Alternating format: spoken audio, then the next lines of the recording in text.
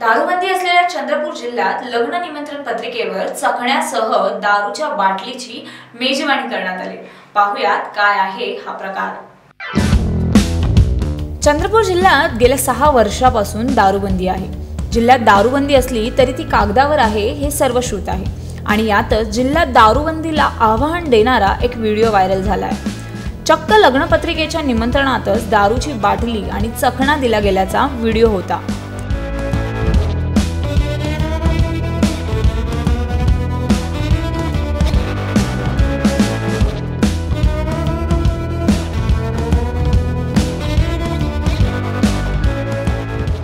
नागपूरमध्ये वाटलेल्या काही पत्रिकेत दारू होती परंतु चंद्रपूरमध्ये नाही असं बल्लारपूर येथील स्थानिक कुटुंबियांचे म्हणणे आहे.